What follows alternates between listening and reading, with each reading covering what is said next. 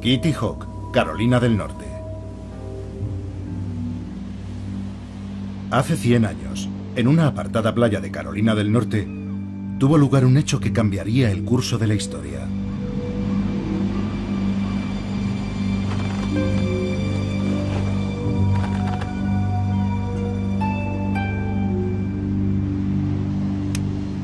No hubo muchos testigos, tan solo unos cuantos pájaros curiosos y algunos pescadores del lugar.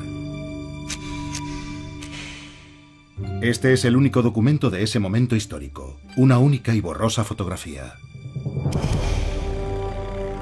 Fue aquí donde un joven fabricante de bicicletas hizo realidad un sueño largamente perseguido.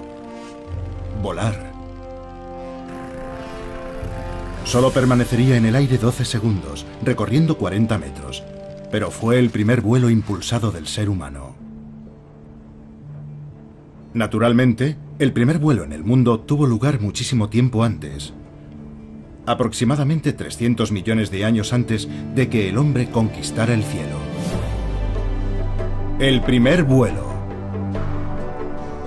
Aquellos 12 segundos en Kitty Hawk presenciaron el amanecer de una nueva era para la humanidad. Pero el vuelo había evolucionado de forma independiente en la naturaleza cuatro veces. Insectos, pterosaurios, murciélagos y aves. Una de las grandes historias del éxito de la naturaleza.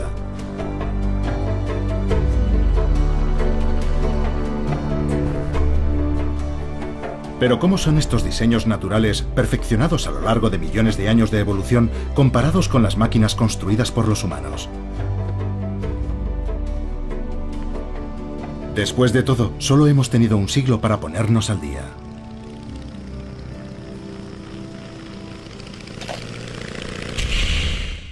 Animados por su éxito, los hermanos Wright volvieron a su hogar en Ohio decididos a desarrollar y perfeccionar sus máquinas voladoras. Huffman Prairie, Ohio. Dos años después, habían perfeccionado el modelo Wright A, capaz de volar durante casi una hora.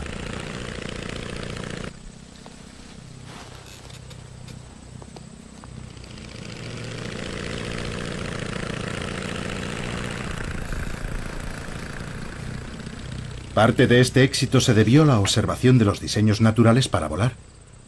Pero no es tan sencillo. La fotografía de Kitty Hawk no muestra que el primer aparato de los hermanos Wright fuera prácticamente imposible de pilotar.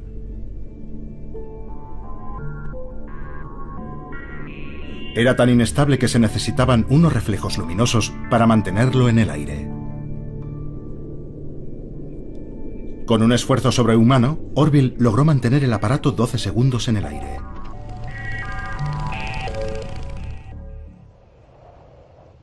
Control y estabilidad. La naturaleza también tuvo que superar los mismos problemas. Las aves tienen que reaccionar a los constantes golpes de viento con millares de diminutas correcciones en su vuelo. Pero tras millones de años, la evolución perfeccionó unos reflejos que nosotros nunca podremos igualar. Los reflejos de estos tordos alirrojos son tan veloces que, cuando un pájaro gira, todos los demás reaccionan al instante y la bandada se mueve al unísono.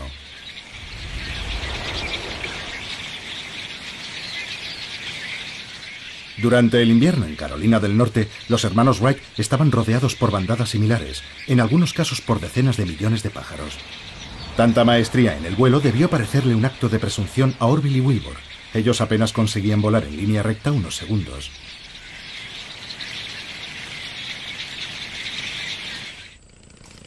Pero los avances fueron tan rápidos que solo dos años después, los hermanos Wright ya tenían la primera aeronave funcional. Fue entonces cuando la aviación realmente despegó. Wilbur murió en 1912, pero Orville vivió para ver volar el primer avión a reacción. Y justo 66 años después del vuelo en Kitty Hawk, el hombre caminaba sobre la luna.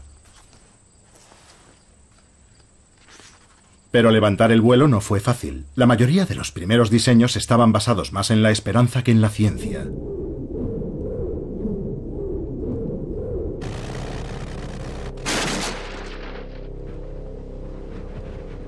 El gran error fue intentar imitar a la naturaleza. Parecía el camino evidente. El batir de alas es perfecto para las aves. Pero por ingeniosas que fueran, estas máquinas nunca volarían.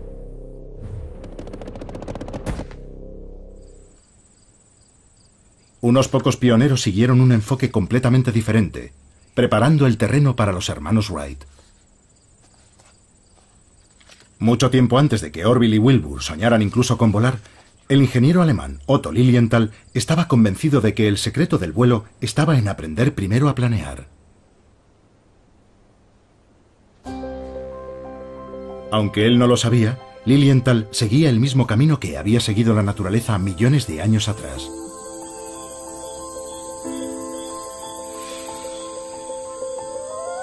Los animales planeadores recorren largas distancias velozmente sin usar mucha energía. Una buena forma de moverse, sobre todo en las alturas de los bosques tropicales. Funciona incluso para los animales más inverosímiles, como las ranas. Y los lagartos.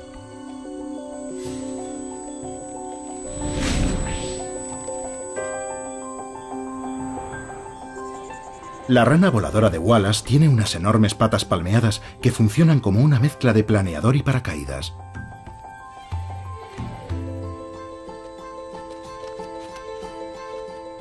Y el gecko volador tiene una sofisticada membrana que recorre los flancos dorsales hasta la cola y que se abre en el aire como las alas de un planeador.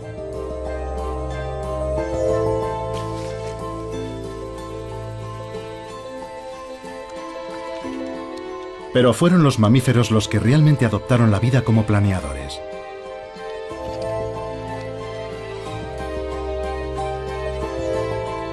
En Australia, diferentes tipos de marsupiales, incluido este petauro del azúcar, planean sobre el bosque en mitad de la noche.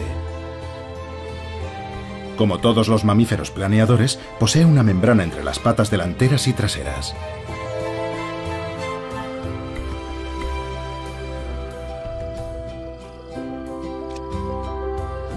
Agitando esa membrana y usando la cola como timón, un petauro del azúcar puede llegar hasta un árbol situado a 100 metros de distancia. La mayoría de los científicos coinciden que hace aproximadamente 60 millones de años un animal planeador similar desarrolló la capacidad de volar, el primer murciélago. Lilienthal desconocía cómo habían evolucionado los murciélagos, pero siguió el mismo camino.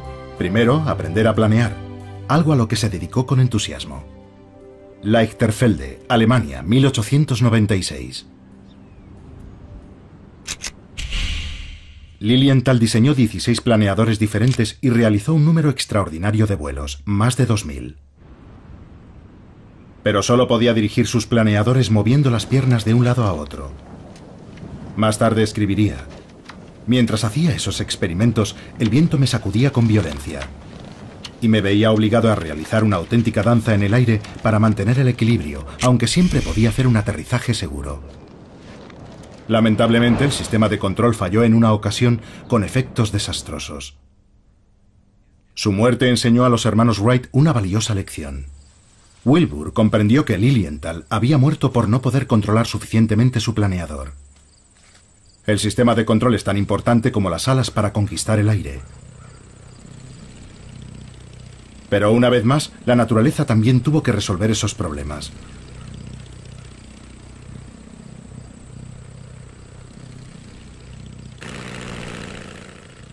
En Ohio, el cielo estaba lleno de maestros del planeo controlado. Los buitres cabecirrojos. Sus alas son muy largas en relación a su peso. Es como si estuvieran a merced de cada ráfaga de aire pero su control es absoluto. Y Wilbur intentó comprender cómo lo hacían.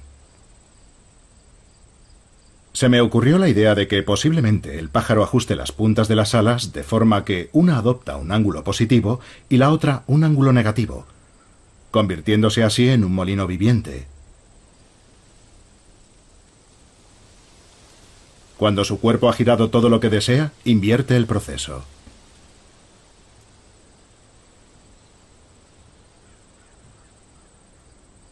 Estas observaciones inspiraron a los Wright la idea para su sistema de control, denominado torsión del ala. Actualmente los aviones no se controlan así y el sistema era muy inestable en los primeros diseños. Pero pocos años después, la torsión del ala significó poder volar con estilo. Un complejo sistema de cables conectados a la columna central de control tensaba y retorcía las alas, dirigiendo el avión hacia la izquierda y la derecha. Y delante, un grupo de timones de profundidad levantaba o bajaba el morro del avión.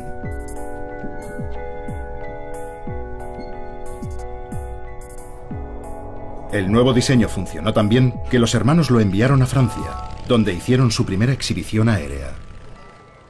Le Mans, Francia, 1908.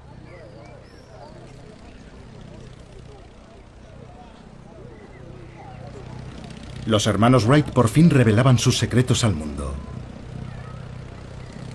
Y un grupo de aviadores novatos contemplaban asombrados la exhibición.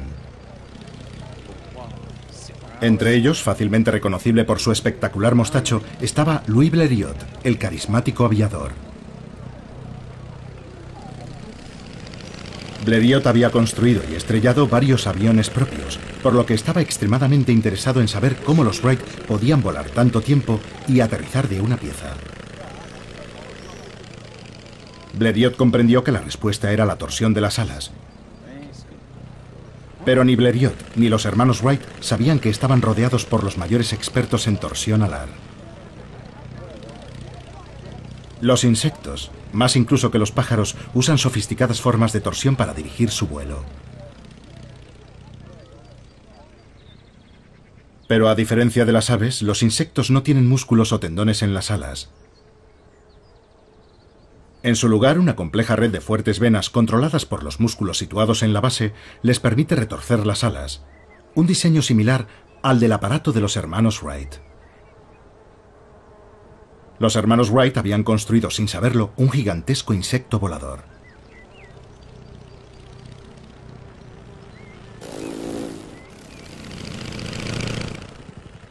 Las libélulas poseen las alas más complejas de la naturaleza. Pero libélulas como esta ya volaban 300 millones de años antes que los hermanos Wright. Y eran las reinas del aire. Volando hacia adelante, hacia atrás o en vertical, las libélulas pasan la mayor parte de sus vidas en el aire.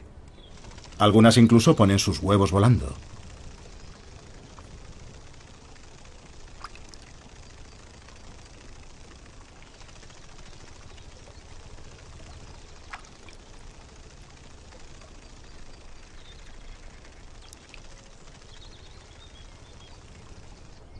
Para controlar su vuelo con tanta precisión, las libélulas tienen unas alas que son una maravilla de la microingeniería.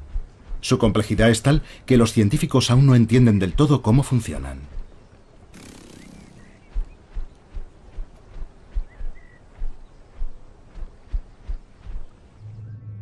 Es mucho más sencillo observar la torsión del ala en otros insectos. Cuando la langosta bate sus alas hacia abajo, éstas se curvan automáticamente, como un paraguas. Esa forma tensa la curvatura cuando el ala desciende, convirtiéndola en un plano aerodinámico rígido. Pero también se aplana y alavea al ascender, de forma que el ala ofrece menos resistencia al aire.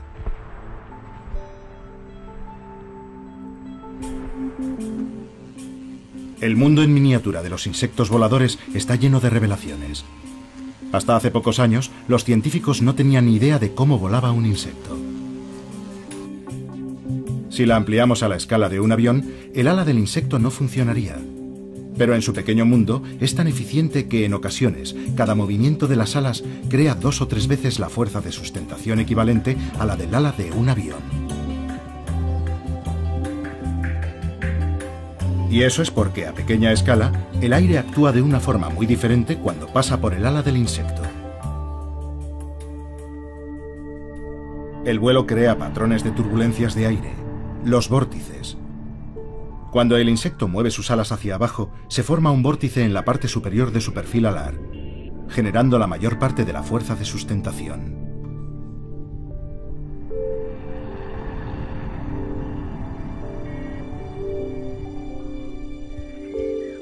El vuelo permitió a los insectos conquistar el mundo, colonizando nuevos y lejanos territorios. Cada año, mariposas como la manesa de los cardos, la colia croceus y la colia amarilla migran al norte de Europa, algunas desde lugares tan distantes como el norte de África. Otras terminarán encontrándose con el mar. Pero para un insecto que puede volar, ni siquiera el Canal de la Mancha es un obstáculo. ¿Puede el vuelo hacer lo mismo por los aviadores humanos? Calais, Francia, 1909.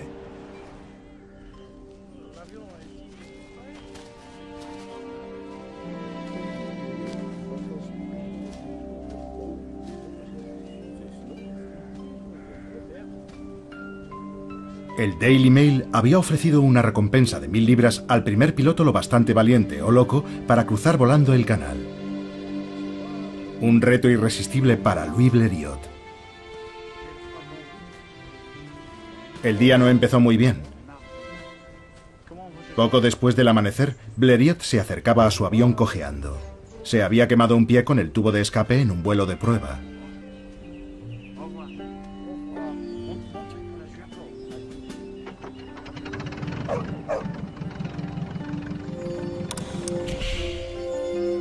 Y el día iba a empeorar. Un perro del lugar, nervioso por tanto ajetreo y ruidos extraños, tuvo un desagradable incidente con la hélice de Blériot.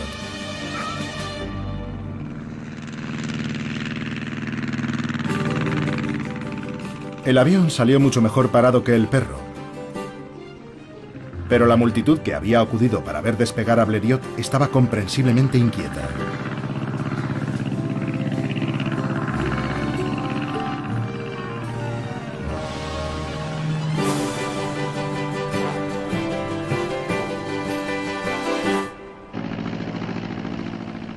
Blériot apuntó su frágil nave hacia Dover. Había calculado que el vuelo duraría algo más de media hora, pero llevaba en el aire más de 50 minutos, por lo que no tenía mucho margen para errar.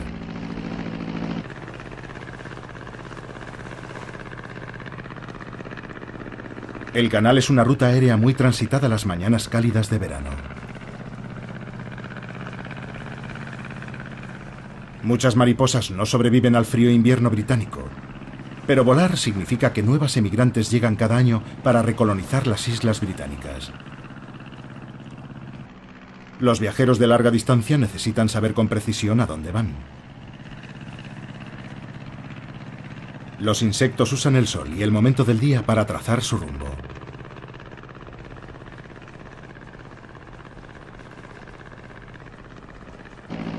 Pero Blériot no tenía ni idea de dónde estaba. Ni siquiera había visto nunca esa parte de la costa inglesa y no llevaba brújula a bordo. Lo único que tenía era una postal, enviada desde Dover por Charles Fontaine, un periodista francés, marcándole el mejor sitio para cruzar el acantilado. Blériot tenía un plan B o algo parecido. Fontaine le esperaría en el acantilado agitando una enorme bandera francesa. Blériot alcanzó la costa inglesa más por suerte que por destreza, más tarde recordaría.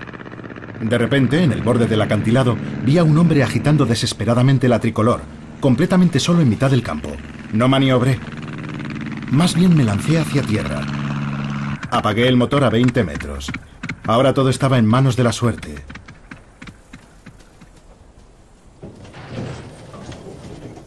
El tren de aterrizaje no aguantó muy bien, pero ¿eso qué importaba? Había cruzado el canal.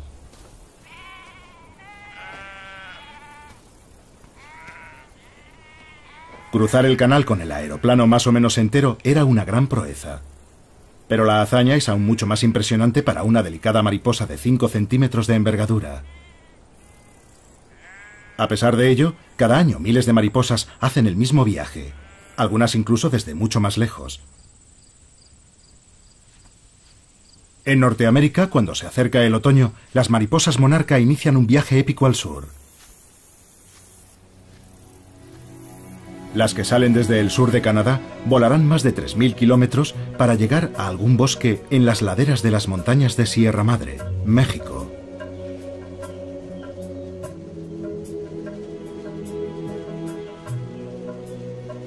No solo es una hazaña de resistencia de larga distancia, es un auténtico milagro de la navegación, ya que aquí en este bosque se reúnen mariposas llegadas desde toda Norteamérica.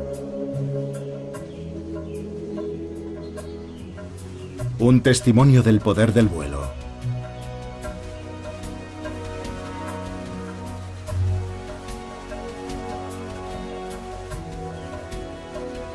Volar es una forma muy eficaz de recorrer largas distancias, y no solo para los animales y los aviadores. Algunas plantas han evolucionado de forma que sus semillas se alejan planeando de su árbol originario. La semilla planeadora perfecta pertenece al llamado, aunque suene inverosímil, pepino volador, Alsomitra macrocarpa, una cucurbitácea trepadora de los bosques tropicales del sudeste asiático. El planeo de estas semillas de 5 centímetros es tan espectacular que inspiró al diseñador austríaco Igo Etrich.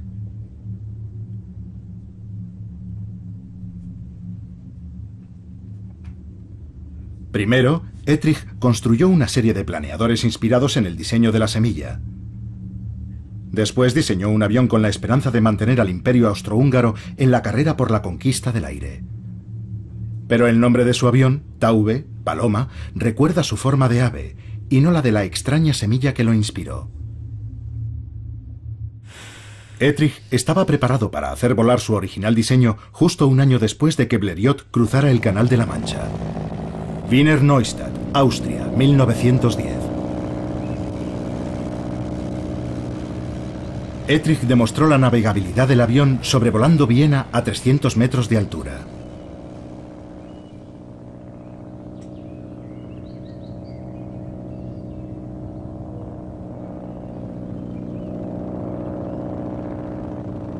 El diseño de Etrich funcionó tan bien que una compañía alemana inició su producción. Y en uno de los momentos más irónicos de la aviación, la Paloma, el símbolo de la paz, se convirtió en el primer avión utilizado para lanzar bombas. Porque Europa estaba en guerra. Norte de Francia, 1917.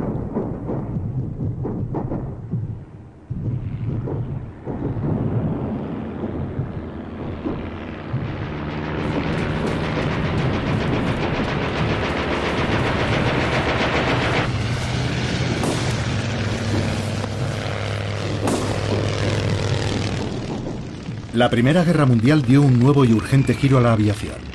Las naciones beligerantes necesitaban diferentes tipos de aviones para diferentes tareas.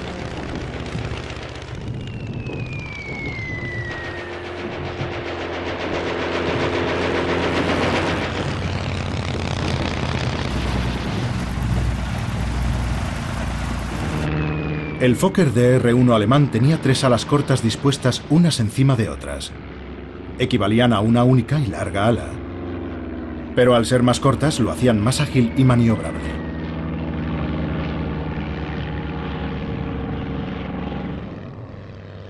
El caza Bristol, su rival, era un biplano más grande con dos alas más largas.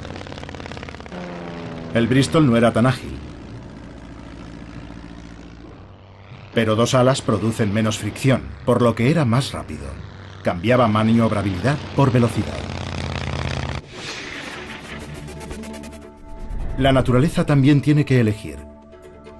Los diferentes voladores evolucionaron para diferentes tareas en el aire. La naturaleza también ha desarrollado formas eficaces para matar. El halcón peregrino está diseñado para la velocidad. Sus largas y finas alas reducen la fricción, haciendo del peregrino un ave veloz y letal en el aire.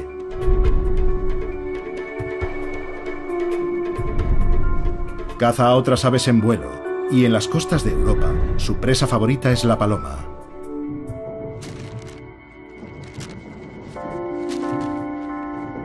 Esa es la razón por la que se disparaba a los halcones peregrinos durante la Primera Guerra Mundial. Tenían la mala costumbre de comerse a los vitales mensajeros.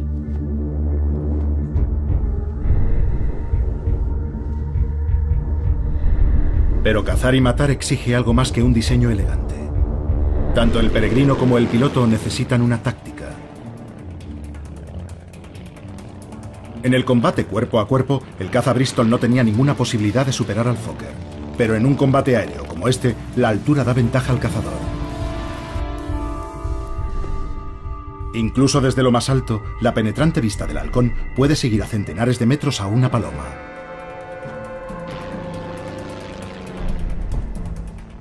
Y tanto el piloto como el halcón intentarán aprovechar el resplandor del sol para deslumbrar a sus presas.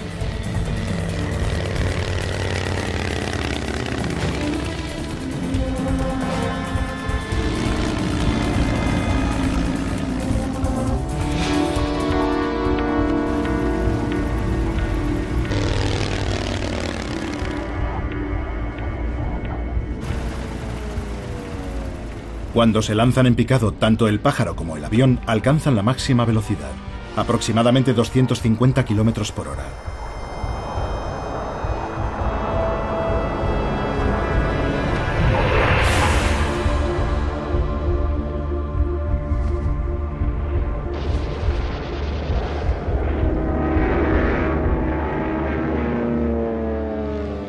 En la naturaleza, los depredadores maniobran a todas las escalas,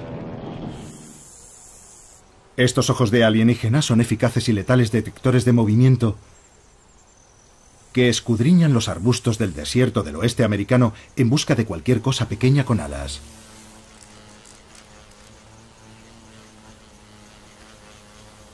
Son los ojos de la mosca predadora, los cuatreros del mundo de los insectos. Mientras busca el mejor lugar para tender una emboscada a los incautos viajeros, exhibe su habilidad en el aire, volando hacia adelante, hacia atrás, de lado y haciendo aterrizajes de precisión.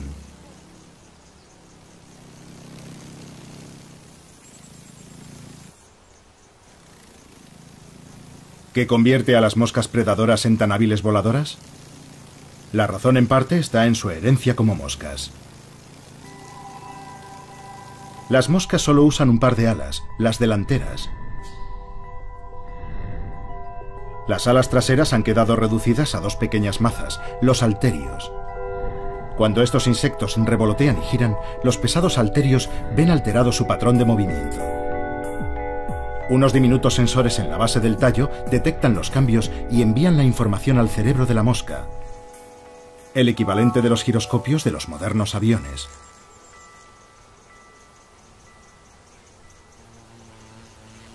Las moscas predadoras usan esta tecnología para hacer vuelos cortos y rápidos de una precisión letal.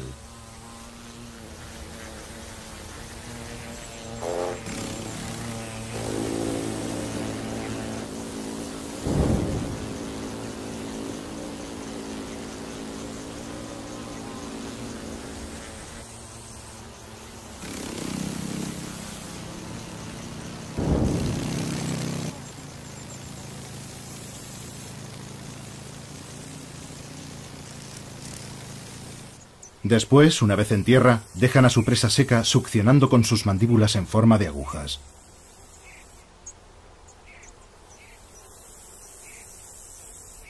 Son tan rápidas que son capaces hasta de capturar a un saltamontes en mitad de un salto. Pero algunos insectos son demasiado grandes y duros, incluso para las moscas ladronas. En primavera, el viaje de regreso lleva a las mariposas monarca directamente hasta el territorio de la mosca predadora. Son las mismas mariposas que volaron al sur el año pasado, pero no volverán volando directamente a casa. Se detendrán para reproducirse, dejando sus huevos en las plantas de Asclepia.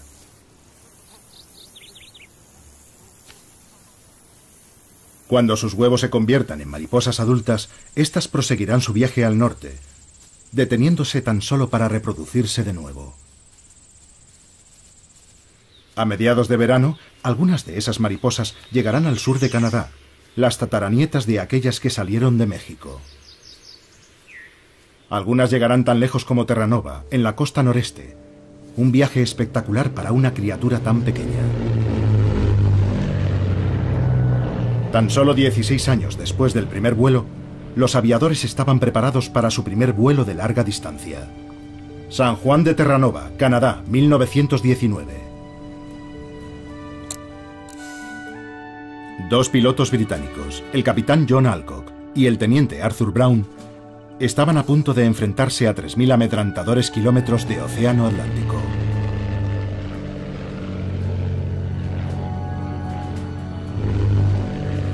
Tuvieron problemas casi desde el despegue. Una montaña de nubes se extendía delante de ellos, amenazando con ocultar el horizonte y el sol. No había vuelta atrás tenían que seguir adelante, directos hacia la amenazante tormenta atlántica que zarandeaba el Vickers Bini, un avión grande y pesado. Y sin rastro del sol, no tenían idea de a dónde iban, ni en qué dirección avanzaban.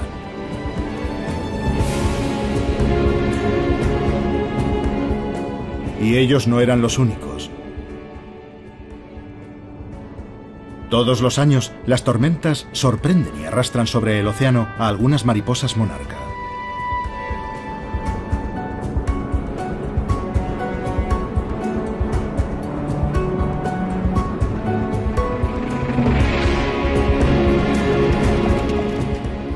Perdidos en la tormenta, Alcock y Brown buscan desesperadamente un rayo de sol. Pero está anocheciendo. Poco después de la medianoche logran al fin atravesar las nubes y se orientan con la luna para poner rumbo al este, a Irlanda. Travesía aérea atlántica, triunfo glorioso. Tras 16 horas de pesadilla de aterradoras tormentas atlánticas, Alcock resumió el éxito con la habitual flema británica diciendo,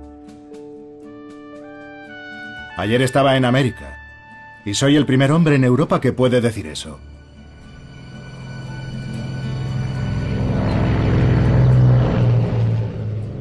Su maltrecho avión se dirigió a lo que parecía un prado llano.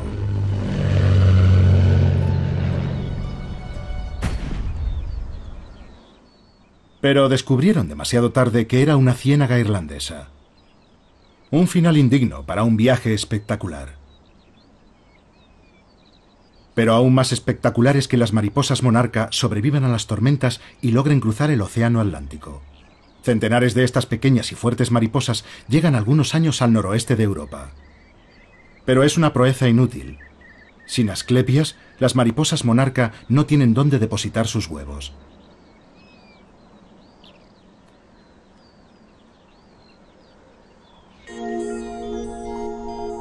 El Bimi, el avión de Alcock y Brown, era un bombardero de la Primera Guerra Mundial reconvertido.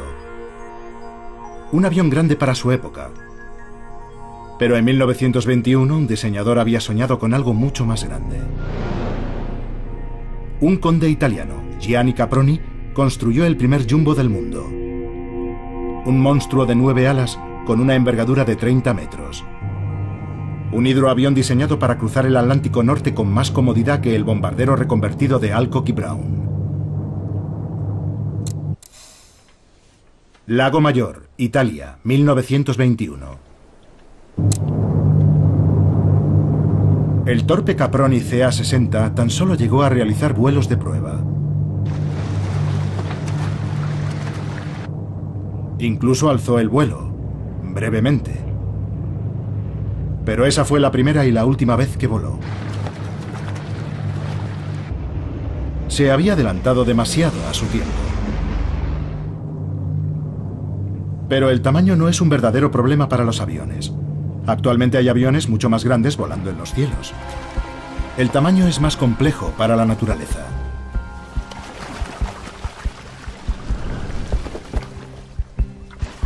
Cuanto mayor es un avión, más potencia necesita. Por eso los ingenieros hacen motores más potentes y eficientes. Pero ¿qué hace la naturaleza que solo dispone de un tipo de motor, el músculo?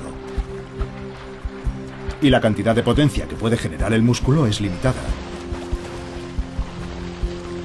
Los músculos no pueden crecer para compensar el aumento de peso de las grandes aves, razón por la que el vuelo impulsado tiene un límite de peso máximo.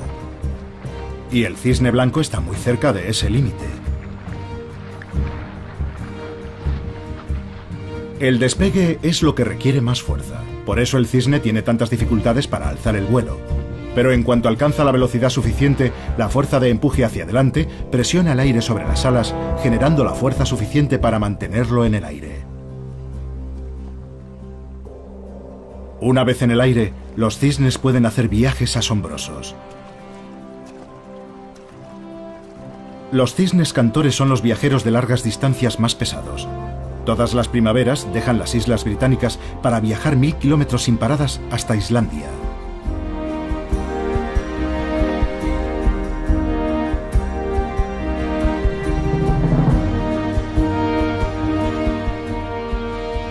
Estos cisnes alcanzan velocidades de 90 kilómetros por hora, lo que significa que el viaje solo les llevará 12 horas.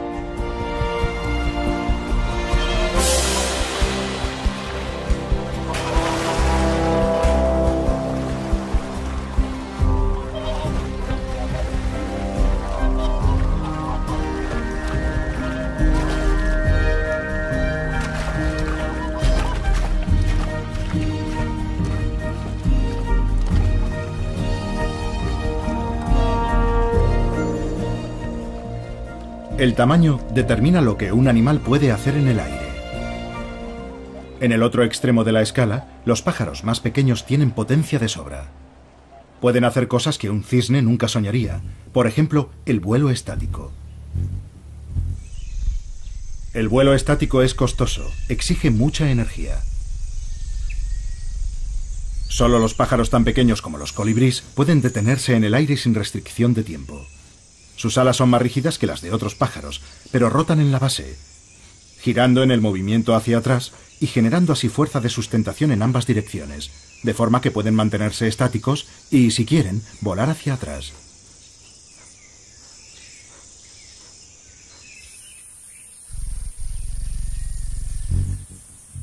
Los colibríes controlan el vuelo de tal manera que incluso construyen sus nidos en el aire envolviéndolos con tela de araña sin romper el hilo.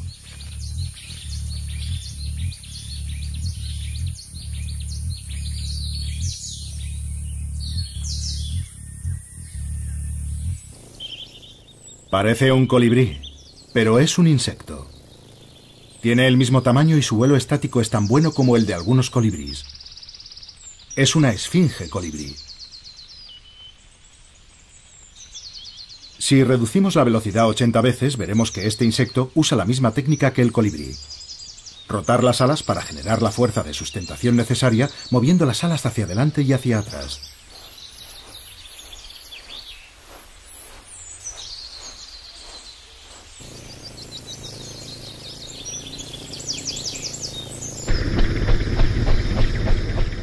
Las alas del helicóptero son las aspas del rotor.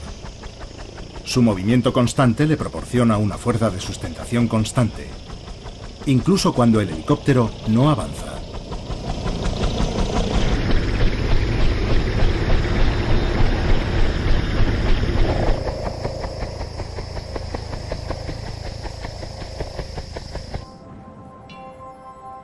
A comienzos de 1930, la ingeniería aeronáutica estaba lo bastante avanzada para que los aviadores se embarcaran en aventuras aún más atrevidas y peligrosas. Norte de la India, 1933. En la primavera de 1933, dos biplanos Westland despegan en el norte de la India. En un osado intento de sobrevolar el Everest a 10.000 metros de altitud. Esa es la altura de crucero de los aviones de pasajeros actuales, pero estos aviones, construidos de madera y lona, tenían carlingas abiertas. Los pilotos, Lord Claysdale y el teniente de la Fuerza Aérea McIntyre, y los fotógrafos, el coronel Blacker y S.R. Bonnet, solo estaban protegidos por trajes térmicos y oxígeno puro para el momento del ascenso final.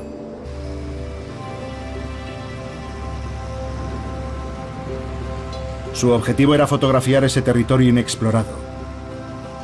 Pero la única forma de hacer buenas fotografías era que el fotógrafo se asomara fuera del aeroplano.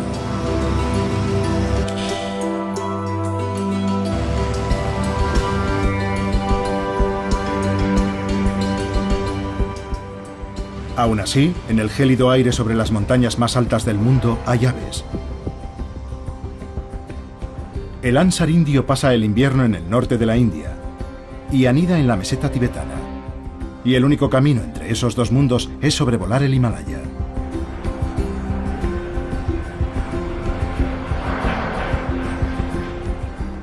Estos gansos alcanzan alturas de 9.000 metros. Y al igual que los modernos aviones de pasajeros, a menudo aprovechan la corriente, completando el viaje de mil kilómetros en menos de un día. Los dos aeroplanos esquivaron la cumbre del Everest por unos cientos de metros. Pero mientras lo hacían, el tubo del oxígeno de Bonnet se rompió. A esas alturas, el aire contiene la tercera parte de oxígeno que al nivel del mar. Rápidamente Bonnet sintió que desfallecía con dolores agudos de estómago y mareos.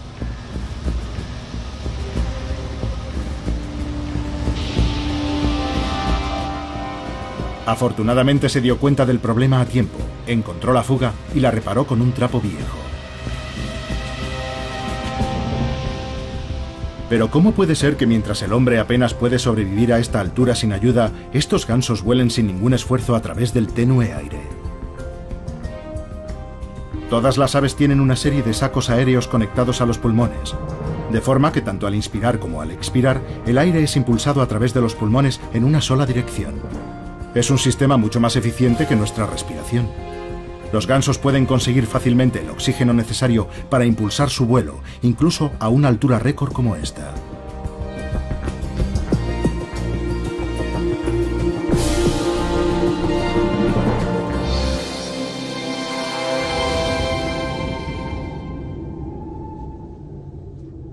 La mayor diversidad de voladores de la naturaleza se encuentra entre los insectos.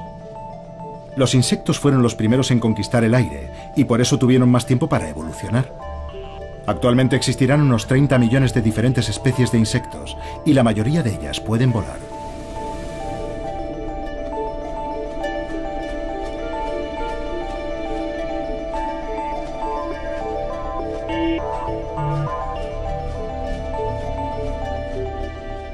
Hasta hace 60 millones de años, cuando aparecieron los murciélagos, los insectos tenían los cielos nocturnos para ellos solos.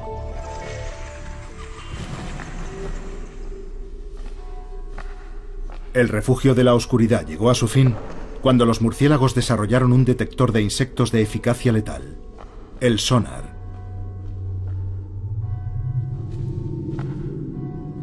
Y una vez más, la aviación imita a la naturaleza. Sur de Inglaterra, 1940.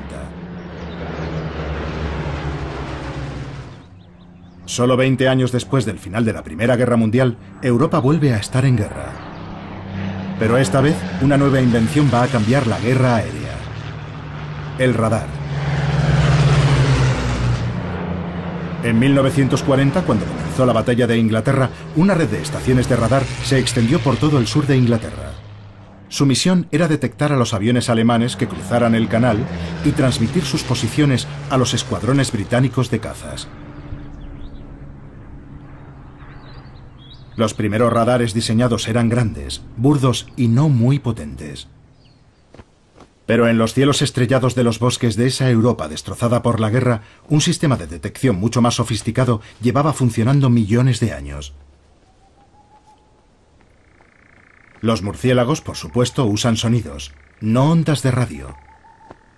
Los murciélagos orejudos dorados son voladores lentos pero ágiles que cazan insectos posados en el follaje.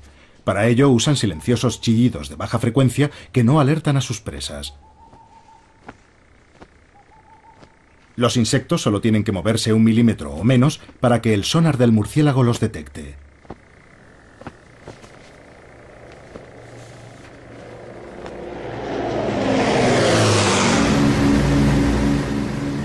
La urgencia de la guerra llevó a los científicos a experimentar con diferentes diseños de radares. El radar H2S era lo bastante pequeño para poder ser instalado en un avión y era capaz de detectar submarinos en aguas poco profundas.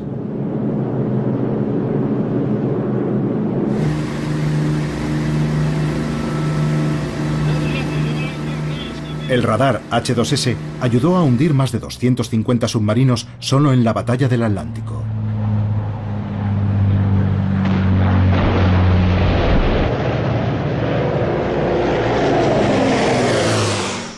Pero la naturaleza ya tenía su propio sonar aire-superficie. En las selvas de Centroamérica, el murciélago pescador localiza a sus presas mediante las ondas en la superficie de las charcas.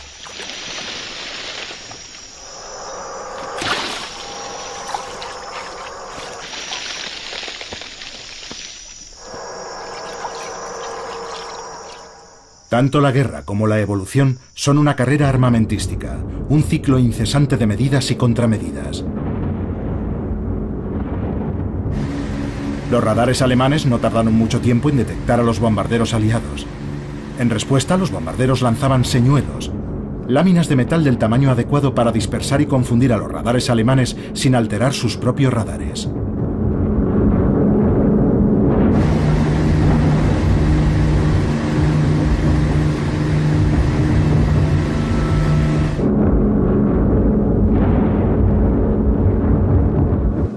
Esta carrera armamentística no es algo nuevo para la naturaleza. Los insectos no se quedaron sentados esperando a ser devorados por los murciélagos.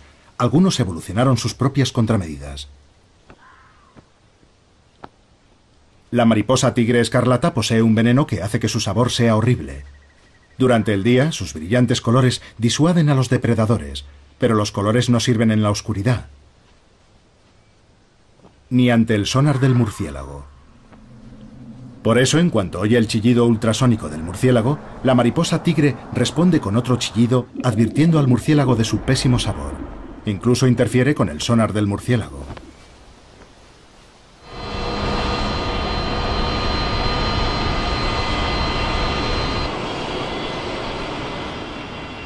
Hoy, un siglo después del primer vuelo, los aviones están por todas partes,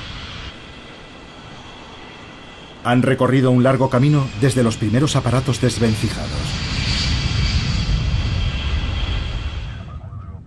Los ordenadores de a bordo dirigen las complejas superficies de mando, reaccionando instantáneamente para estabilizar el avión. Igual que el cerebro de un pájaro controla sus alas con sus rapidísimos reflejos.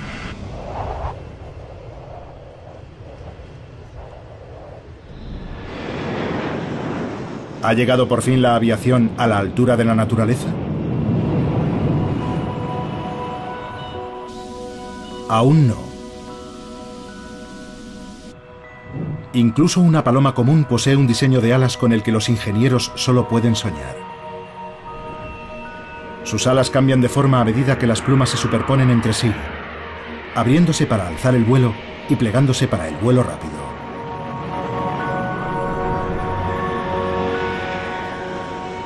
Y a diferencia de las alas de un avión, las alas naturales hacen más que proporcionar fuerza de sustentación. También hacen las veces de motor, generando fuerza de empuje hacia adelante al agitarse.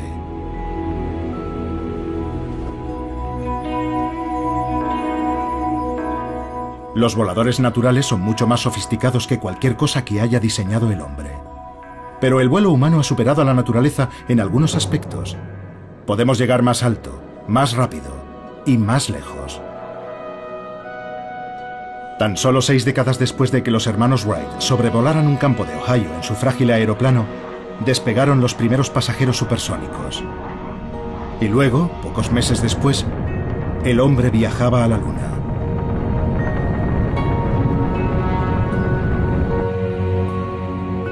El Apolo 11 llevaba una pequeña pieza del aparato original de los hermanos Wright. Su primer vuelo solo fue de 40 metros, pero su último viaje, 64 años después, fue un viaje de ida y vuelta de casi un millón de kilómetros. Si hemos llegado tan lejos en 100 años, ¿qué podemos conseguir en el futuro? ¿Aún más alto? ¿Más rápido? ¿Más lejos? Esa habría sido la respuesta hace solo una década. Pero ahora, los ingenieros aeronáuticos comprenden la importancia de algo que la naturaleza ha practicado durante centenares de millones de años. El vuelo evolucionó más de una vez en la naturaleza por su eficiencia energética. Y eso es algo que no puede decirse de aviones como el Concorde.